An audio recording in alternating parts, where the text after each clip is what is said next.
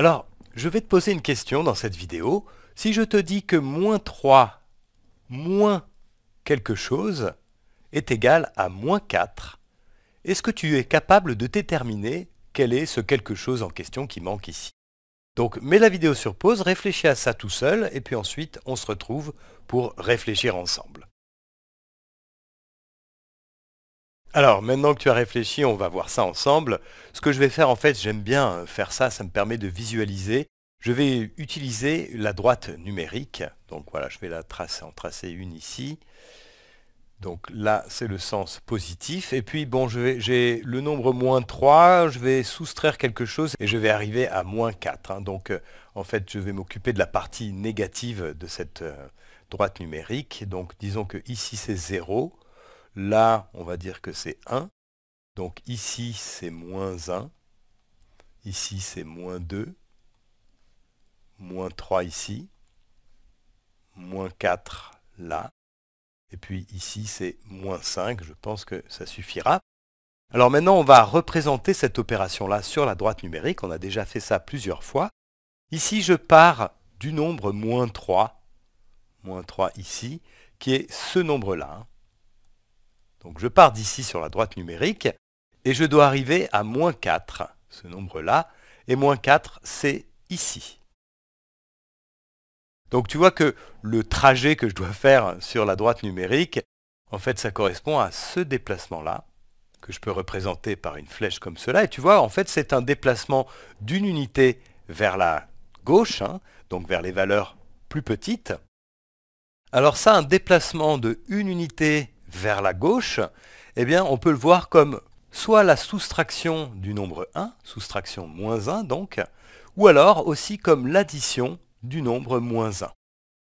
Alors l'opération qui nous est proposée ici, c'est moins 3 moins quelque chose. Donc le plus simple pour nous, c'est d'écrire que moins 3 moins 1 est égal à moins 4. Effectivement, moins 3 moins 1, c'est bien égal à, à moins 4. Si tu te places ici en moins 3 et que tu soustrais 1, eh bien tu te déplaces d'une graduation vers la gauche et tu arrives effectivement à moins 4. Allez, on en fait un autre. Disons que on va essayer de faire ça.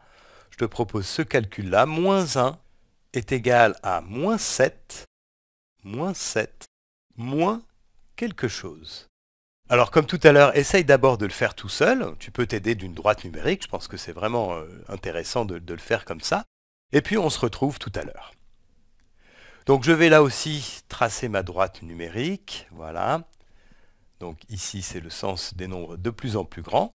Et tu vois que je vais partir de moins 1 et en fait les nombres qui interviennent ici c'est moins 1 et moins 7. Donc là aussi je vais considérer la partie euh, négative de la droite numérique. Donc disons que ici c'est 0, ici c'est moins 1, moins 2, moins 3, moins 4, moins 5, moins 6, moins 7, moins 8, et ainsi de suite.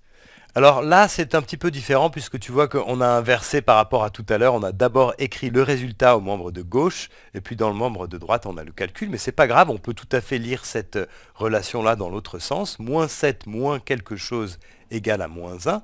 Donc là aussi, je vais partir de moins 7. Alors moins 7, c'est ici. Voilà, donc je pars d'ici je vais soustraire quelque chose et je vais arriver à moins 1. Alors moins 1, c'est ici.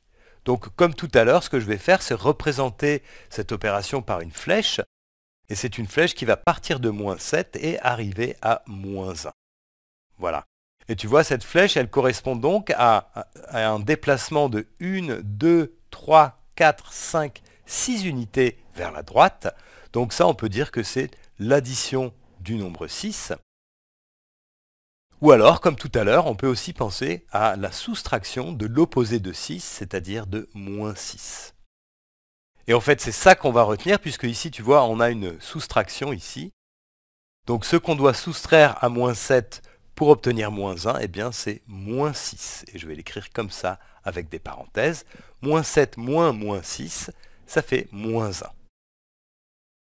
Voilà, donc on va continuer. Je te propose d'en faire encore quelques-uns. Et on va faire celui-ci, par exemple, cette opération-là. Quelque chose moins moins 5. est égal à 13. Alors je vais le faire, mais tu peux évidemment arrêter la vidéo si tu veux le faire tout seul. Je vais faire comme tout à l'heure, je vais tracer ma droite numérique. Voilà. Alors ici, ce qu'on va avoir, c'est on part de quelque chose et on va soustraire le nombre moins 5 pour arriver à 13. Donc en fait, le quelque chose dont on part, il va être euh, à peu près à 5 unités du nombre 13. Donc je vais faire comme ça, je vais mettre le 0 ici, et puis il faut que j'arrive jusqu'à 13 là. Donc on va dire 1 ici, 2, 3, 4, 5, 6, 7, 8, 9, 10, 11, 12, 13. Voilà. Et donc nous, on sait qu'on est parti de quelque part et on est arrivé au nombre 13. Le nombre 13, je l'ai représenté, il est ici. Et ce qu'on a fait pour arriver à 13, c'est soustraire le nombre moins 5. Hein. Alors on a déjà dit plusieurs fois que soustraire le nombre moins 5, c'était en fait la même chose que euh, ajouter le nombre 5. Donc ça c'est la même chose que faire plus 5 et plus 5 sur la droite numérique, eh bien ça correspond à se déplacer de 5 unités vers la droite. Donc ça veut dire qu'on doit tracer une flèche qui arrive à 13, qui pointe vers la droite et qui a une longueur de 5 unités.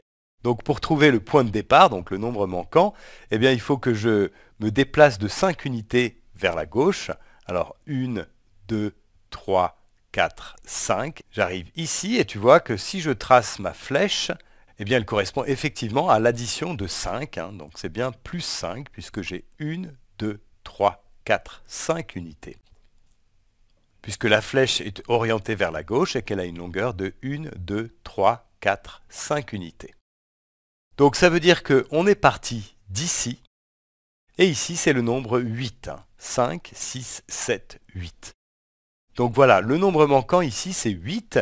8 moins moins 5, c'est la même chose que 8 plus 5, et ça fait bien 13. Alors il y aurait une autre manière de résoudre ce problème-là. C'est donc, si je te dis par exemple que 3 moins 2 est égal à 1, ça c'est vrai. Et en fait, tu peux très bien écrire la même relation, enfin une relation tout à fait équivalente à celle-là, comme ça. 3 égale 1 plus 2. C'est-à-dire que le moins 2 qui est là, on le fait passer de l'autre côté en changeant son signe et on obtient une autre relation qui est tout à fait équivalente. Alors dans notre cas, si ça moins moins 5 est égal à 13, eh bien c'est exactement la même chose que de dire que le nombre qu'on cherche, le nombre manquant ici, eh bien c'est égal à 13 plus moins 5. 13 plus moins 5, et 13 plus moins 5, en fait, c'est 13 moins 5. Donc ça nous dit que le nombre manquant, c'est 13 moins 5. Et 13 moins 5, eh bien, ça fait 8. Donc on trouve bien que le nombre manquant, c'est 8. Et heureusement, on trouve la même chose que tout à l'heure.